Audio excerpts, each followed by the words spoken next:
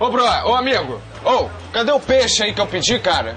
Cinco anos atrás esse peixe, Tá amigo. pronto aqui, tava conversando com um amigo meu ali. Ô, que, você trabalha assim aqui, mano? Vocês, que trabalho. tipo de negócio vocês estão conduzindo aqui? Eu não sabia que garçom se vestia assim. Obrigado, hein?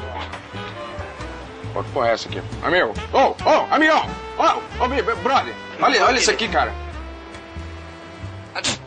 Porra, dá uma porra de um, de, um, de, um, de, um, de um fio de cabelo no meu peixe, amigo. Que que porra é essa aqui? Ah, relaxa, é só é, o bigode do camarão. Ah, isso é o bigode do camarão. Normal. Ah. Camarão! Porção de azeitona aqui na mesa 8, por favor. Eu tô acostumado com esse peixe agora. Ô, É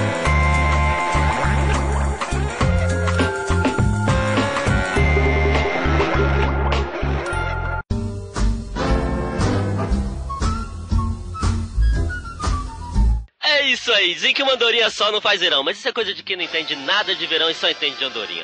Porque o verão é isso, é calor, é pré-exuberante, são copos sarados, é gente mostrando demais, é gente mostrando mais que devia.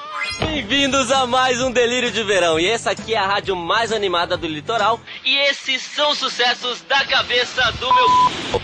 Olha, tô achando o nome desse programa aqui muito gay. É, velho, eu também, mano. Porque eu tô ficando até meio sensível. Tudo tem uma versão gay agora. Deixa eu te dar um exemplo aqui, do nada. Banheiro, na língua gay, toilette.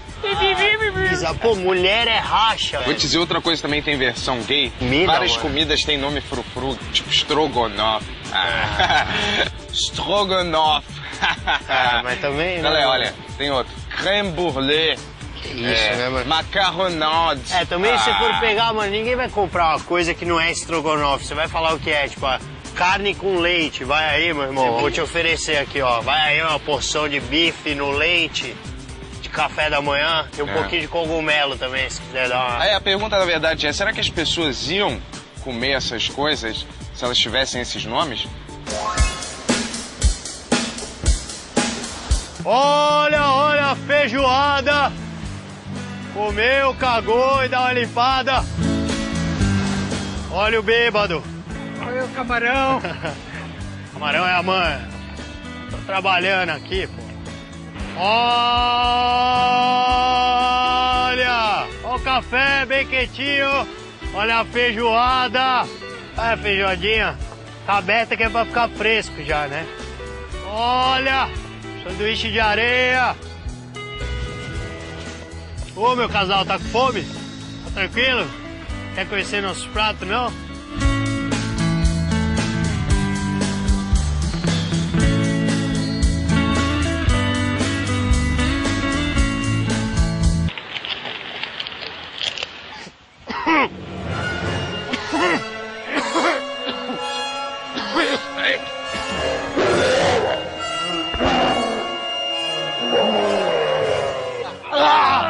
Para, para!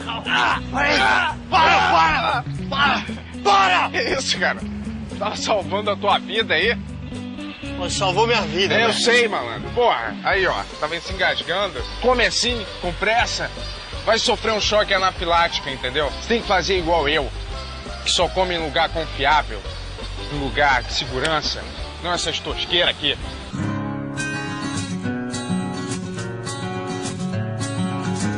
E aí, galera? Sou eu, Cabeção. Eu voltei da clínica de reabilitação, galera. Então, eu quero aproveitar que tá todo mundo reunido aqui no Gigabyte pra chamar vocês pra super festa de Halloween que vai ter, hein? É pra juntar dinheiro pra operação do Tavinho, que tá com câncer de próstata. Mas vai ser legal, galera. Maneiro. Ô, cadê o meu suco? Pô. Que isso? Que é isso aqui? Pô, tem um camarão no meu suco, pô. Ô, aí você é, já é esculacho, né? Um camarão. Ô. Meio vivo ainda. Ó.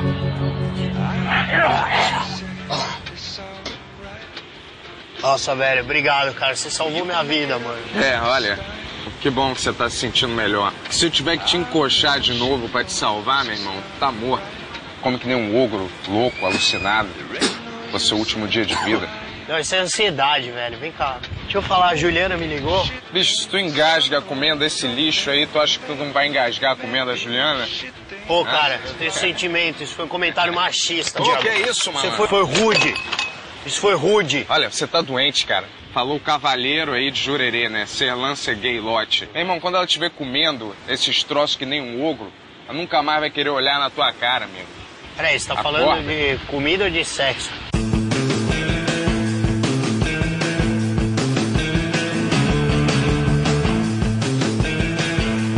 Eu acho que pra, pra primeiro encontro, quando as pessoas não se conhecem direito, ele já tem que saber qual vai ser o cardápio. Se ele não sabe comer uma massa, se ele não sabe se comportar com um talher direito, vai num lugar mais tranquilo, vai num lugar mais fácil de comer aperitivo. O melhor lugar é um restaurante tranquilo, que dê pra gente conversar, que a gente possa se conhecer melhor. E o pior lugar, gente, é um cachorro quente, cheio de amigos. Não dá.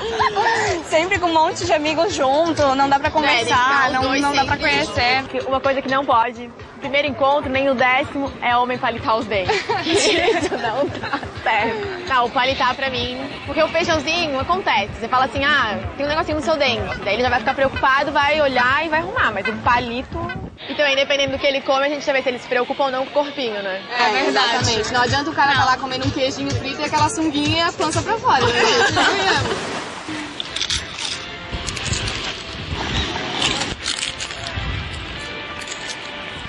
Cara, acho que tem tudo a ver isso aí, velho. Muito destrutivo.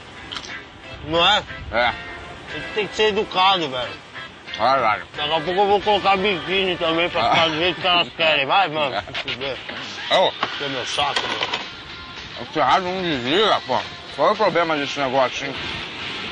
Aqui no Delírio de Verão, comida é o que não vai faltar. Se bem que é exatamente o tipo de comida que eu gostaria de levar, não. Mas o que será que o próximo bloco nos reserva, hein? Aliás, alguém aí fez reserva? Porque, ó, não é fácil não aqui no Delírio de Verão, viu? 30 minutos esperando mesa, ficou ouvindo o Kennedyzinho no piano eletrônico, depois tem que beber, né? Pra